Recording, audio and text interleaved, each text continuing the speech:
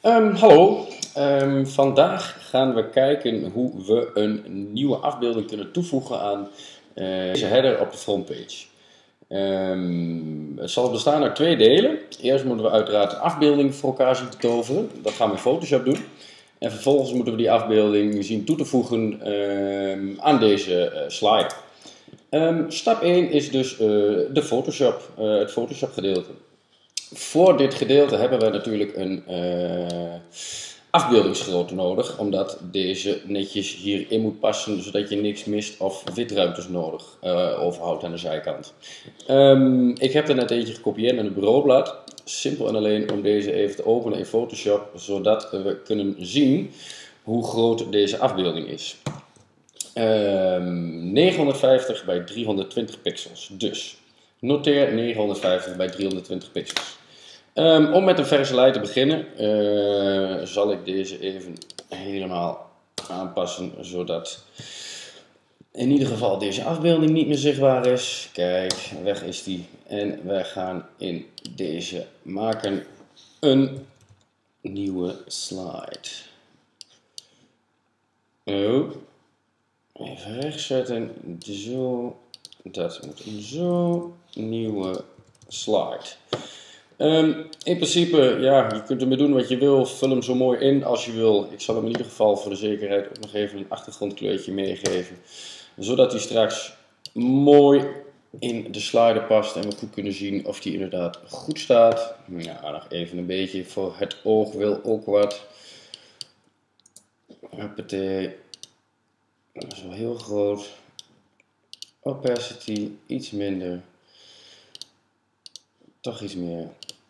En dit wordt de nieuwe slide. Zo, um, deze slide moeten wij opslaan. Dan gaan we naar een file. save for the web devices. En krijgen we het volgende scherm. Um, enige je op af te letten is dat je hem opslaat als JPG. Kun je hier nog even kijken met de grootte. Laat die niet boven de, laat het zijn 150 KB uitkomen. Um, hoe kun je dat beïnvloeden? Dat kan hier bij de quality. Dus je ziet als ik hem naar beneden doe, dan wordt hij kleiner. Doe ik hem omhoog, dan wordt hij groter. Deze afbeelding is sowieso erg klein, omdat het alleen maar blauw is met een beetje tekst. Gaat het om uh, foto's zoals hier, dan zullen ze ook snel wat groter worden. Maar houden ze in de gaten dat deze niet boven de 150k uitkomt, want dan uh, is die onnodig groot.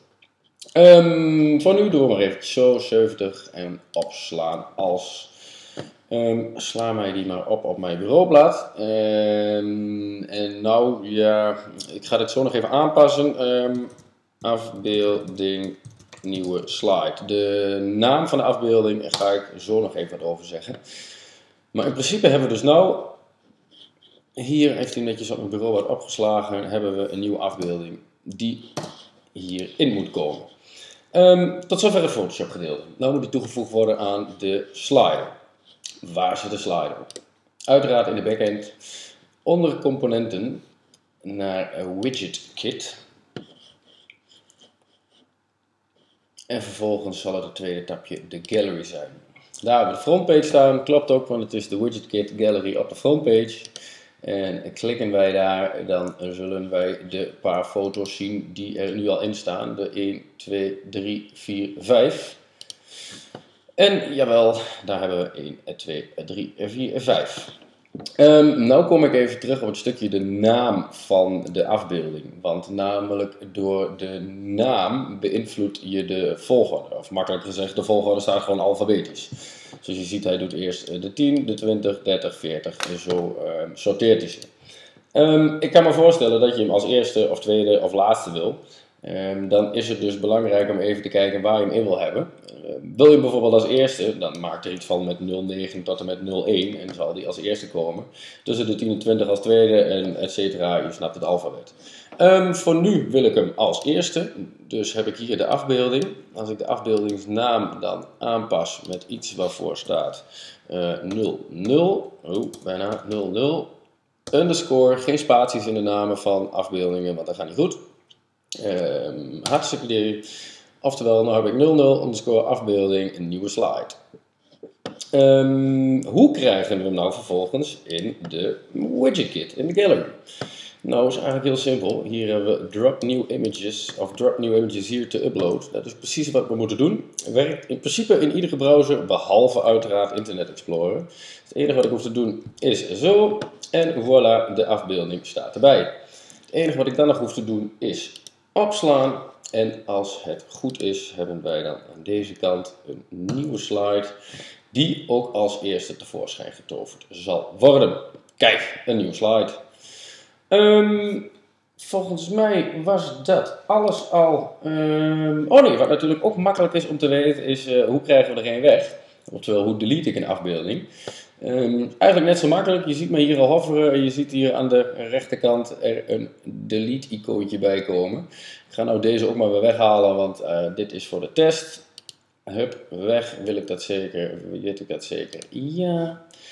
Sla op. En nou zal de afbeelding die hiervoor de eerste was ook weer de eerste afbeelding zijn. Even wachten. Kijk. Um, dus op die manier gaan wij, uh, kunnen we uh, afbeeldingen toevoegen. Mooi custom made. Ik zou zeggen, neem rustig de tijd in uh, Photoshop. Als je wil kan ik nog wel even deze, deze font ehm, naar je mailen. Omdat dat wel mooi is natuurlijk. Omdat het mooi overeenkomt met de huisstijl. Mocht je nog verder nog vragen hebben, dan mail me of hoor ik het wel. En anders, uh, dankjewel voor het luisteren. Dag.